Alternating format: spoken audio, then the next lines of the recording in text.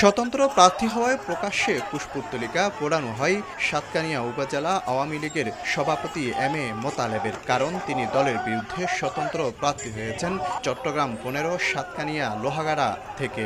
চট্টগ্রামের ষোলোটি আসনে প্রায় সবকটিতে কৌশলে স্বতন্ত্র প্রার্থী হয়েছেন আওয়ামী লীগের মনোনয়ন বঞ্চিতরা। নিজ দলের প্রার্থীর বিরুদ্ধে মাঠে থাকায় চট্টগ্রামে ঘটছে আচরণবিধি লঙ্ঘনসহ নানা অনাকাঙ্ক্ষিত ঘটনা।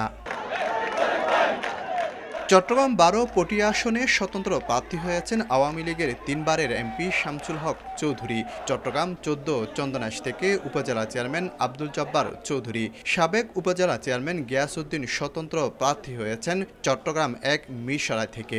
ছাত্রলীগের সভাপতি থেকে আরম্ভ করে প্রত্যক্ষ নির্বাচনের সাথে আমি সক্রিয় ছিলাম আমার না পাওয়ার বেদনা থেকেই আমি আমার জনসমর্থন আছে বলেই আমি স্বতন্ত্র প্রার্থী হয়েছি। যত হুমকি দুমকি যত কিছু আসুক আমি ইনশাল্লাহ মোকাবেলা করে এগিয়ে যাব। আমরা তো আওয়ামী লীগের কর্মী। কাকে কে মারবে? ব্যাংক থেকে নগদে অ্যাড মানি করে প্রতি সপ্তাহে জিতুন মালদ্বীপে কাপল হলিডে প্যাকেজ। এদিকে দলের স্বতন্ত্র প্রার্থীদের দলীয় শৃঙ্খলা মানতে কঠোর হুঁশিয়ারি ডক্টর হাসান মাহমুদের। দলের যারা পদধারী তাদেরকে অবশ্যই দলীয় শৃঙ্খলা মাথায় রাখতে হবে। আচরণবিধি লঙ্ঘনে নজরদারিতে মাঠে কাজ করছে চৌত্রিশ জন নির্বাহী ম্যাজিস্ট্রেট। আচরণবিধি লঙ্ঘনের ঘটনা ঘটে থাকে।